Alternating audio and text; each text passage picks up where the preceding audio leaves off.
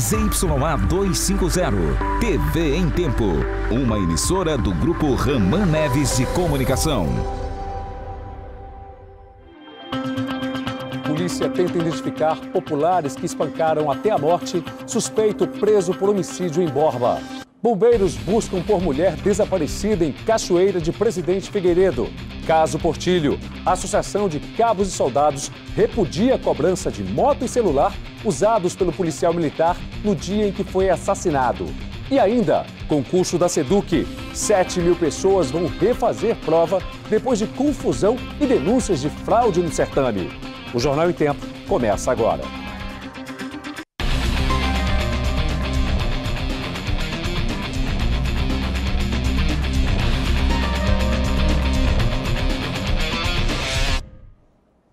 Olá, uma boa noite para você.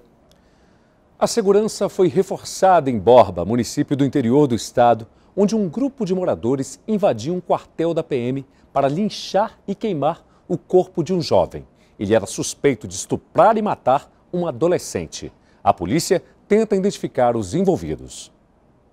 Este vídeo mostra o momento em que populares invadem a companhia de polícia do município de Borba. Eles chegaram a soltar foguetes em direção ao prédio. A confusão foi grande. O alvo era um jovem de 18 anos, Gabriel Lima Cardoso, que estava preso acusado de estuprar e matar a adolescente de 14 anos, Patriciane Barros dos Santos, com 16 facadas. Ele foi apedrejado e espancado até a morte, depois teve o corpo queimado.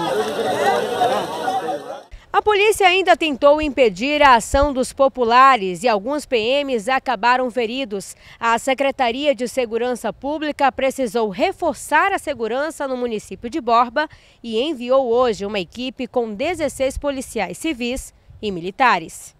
O inquérito também foi instaurado para identificar os envolvidos na ação criminosa e tem 30 dias para ser concluído. As pessoas que participavam devem responder por homicídio, dano ao patrimônio público, ameaça, incêndio criminoso e uso de rojão com a intenção de deixar os policiais constrangidos.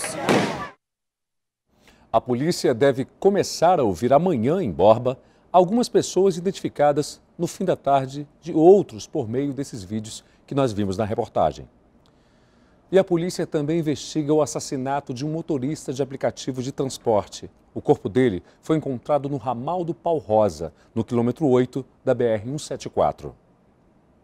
O corpo de Isaac Oliveira Ferreira foi encontrado na manhã deste domingo, no ramal do Pau Rosa, um assentamento rural da BR-174, nas proximidades de Manaus. Ele tinha 25 anos e trabalhava como motorista de um aplicativo de transporte de passageiros.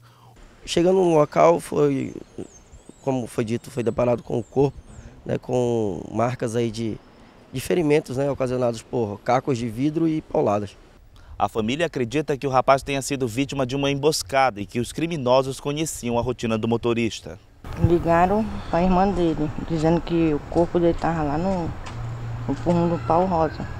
Os caras que ligaram e conhecia ele. O carro estava no quilômetro 8 do mesmo ramal, com várias manchas de sangue da vítima. Todos os pertences de Isaac foram levados pelos criminosos. O velório dele foi nesta igreja, no bairro da Paz, zona centro-oeste da capital.